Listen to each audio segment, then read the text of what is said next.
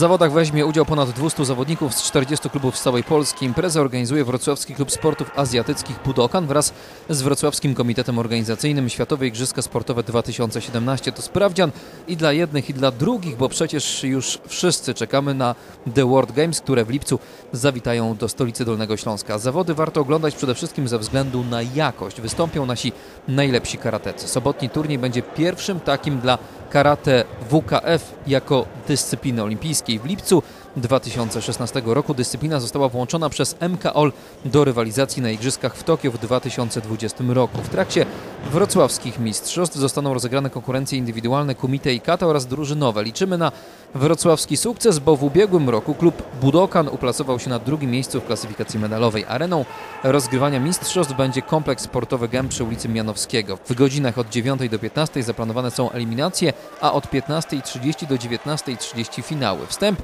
na zawody jest wolny. Zawody objęte zostały honorowym patronatem prezydenta miasta Wrocławia i marszałka województwa dolnośląskiego. Czeka nas sobota pełna wielkich sportowych emocji. Warto poznać dyscyplinę sportowców, bo w najbliższym czasie karate może nam dostarczyć wielkich powodów do radości.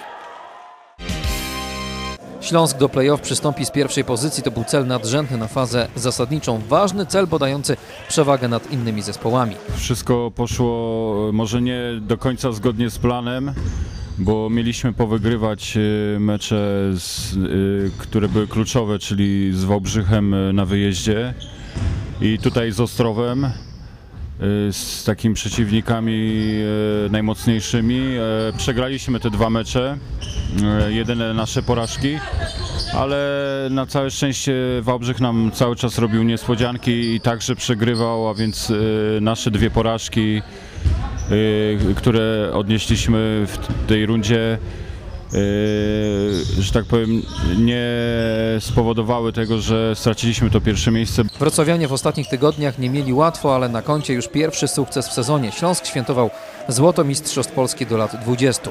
Połowa naszego zespołu y, grała równocześnie w rozgrywkach juniorów starszych, y, w których zespół y, zdobył Mistrzostwo Polski U20.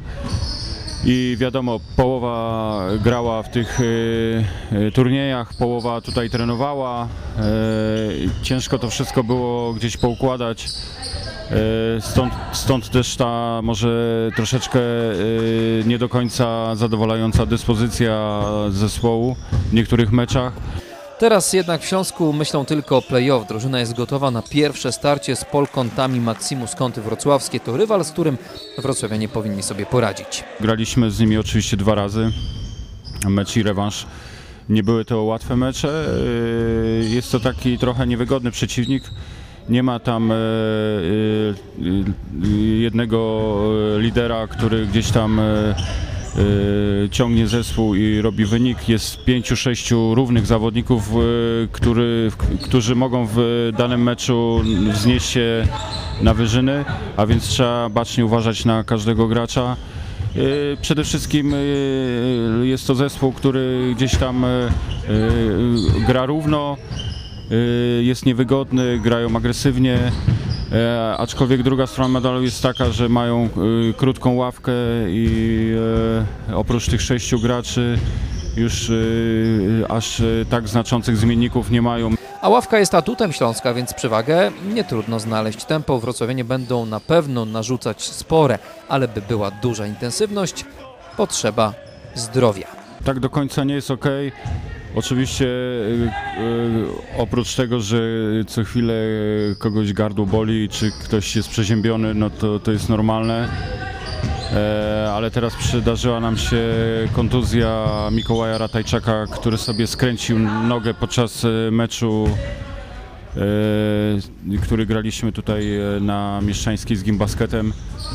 E, Ale Mikołaj już po tygodniu rehabilitacji czuje się lepiej. E, Na pewno jeszcze w tym najbliższym meczu nie zagra, ale myślimy, że już od e, poniedziałku po meczu wejdzie w trening indywidualny.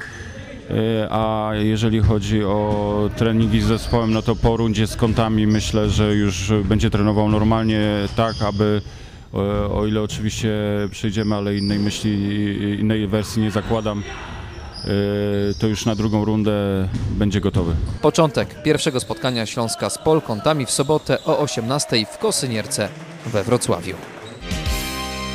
Bielawianka była w poprzednim sezonie bardzo miłym zaskoczeniem, choć nie wymieniano jej w gronie zdecydowanego faworyta, do końca rywalizowała o awans do pierwszej ligi. Ostatecznie się nie udało, ale dostarczyła swoim fanom wielu powodów do radości. Obecne rozgrywki, pamiętajmy jednak, że jeszcze trwają, nie są tak udane. Trzecie miejsce w sezonie zasadniczym i w perspektywie walka w drugiej rundzie z wyżej notowanym przeciwnikiem. Najpierw jednak do tej drugiej rundy playoff trzeba awansować, a to już będzie sporym wyczynem. Zespół z Bielawy bowiem fatalnie spisał się w pierwszym meczu z klubem uczelnianym AZS Poznań. Ekipa Uniwersytetu imienia Adama Mickiewicza w części regularnej grała słabo. Zajęła dopiero szóste miejsce. Miała być teoretycznie łatwym przeciwnikiem. Tymczasem na własnym parkiecie zagrała wręcz doskonale w każdym elemencie. Zrobiła najlepiej jak można, tylko było swoją pracę na boisku.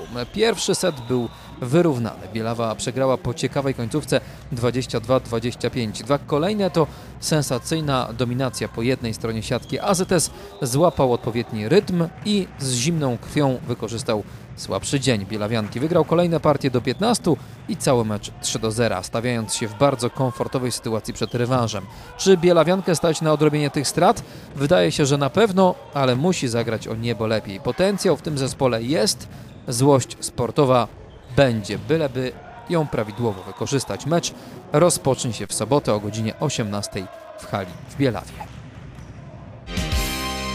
Przerwa zimowa dobiega końca. Kosynierzy i pozostałe zespoły są już bardzo spragnione rywalizacji o punkty, choć w teoretycznie martwym okresie wrocławski zespół sporo grał. W trakcie przerwy zimowej trzeba przyznać, że ona była dość e, długa. E, przede wszystkim dużo pracowaliśmy, ale pracowaliśmy nie tylko fizycznie, ale i pracowaliśmy nad naszą grą w drugą odmianę e, lacrosse. Wiadomo, że w polskiej lidze lacrosse w Polsce gramy w tak zwany field lacrosse, czyli to, w tą odmianę tak zwaną polową, czyli rozgrywaną na, na boiskach trawiastych.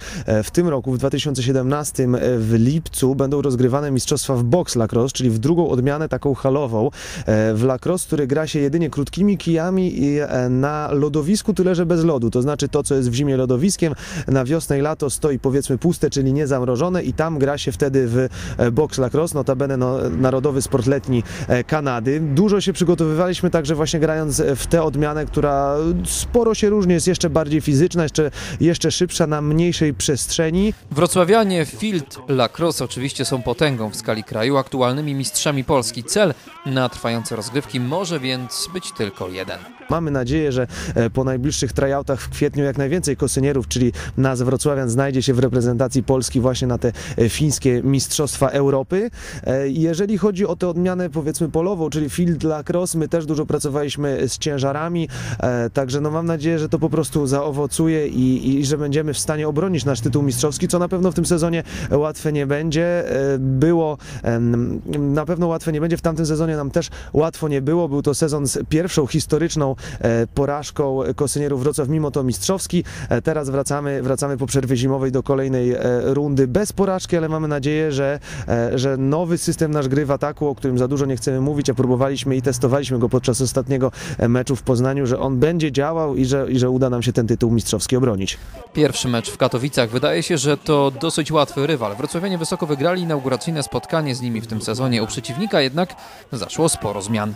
Nasz pierwszy mecz po przerwie zimowej to będzie AZS Legion Katowice, e, nasz przeciwnik. Będzie to mecz rozgrywany u nich, czyli właśnie na Górnym Śląsku. E, Na pewno łatwo nie będzie, bo z Katowicami dość dawno, przyznam się, nie mierzyliśmy. Wiemy, że zaszły tam duże zmiany. E, Przez pewien czas pracował z nimi nasz były trener Błażej Rokicki, więc na pewno tam sporo nowego ducha po pierwsze tchnął, po drugie tam było naprawdę dużo zmian, dużo rekrutacji, więc jakby do końca nie wiemy czego się spodziewać. Z częścią z tych chłopaków widywaliśmy się gdzieś tam na wyjazdach, na wyjazdach reprezentacyjnych czy zgrupowaniach, ale z teamem jako takim e, już jakiś czas się nie mierzyliśmy, więc e, nie chcemy dać się zaskoczyć, chcemy tam jechać i pokazać się e, z jak najlepszej strony. Owszem, u nich, u nich, przepraszam bardzo, owszem, u nas we Wrocławiu pokonaliśmy Katowice, ale to jeszcze o niczym nie świadczy, bo tak jak mówię, po tej przerwie zimowej musimy wrócić, musimy sprawdzić się z Katowicami. Na inauguracyjny mecz Lacrosse we Wrocławiu jeszcze trochę poczekamy. Kosynierzy będą się rozgrzewać ligowymi występami poza miastem.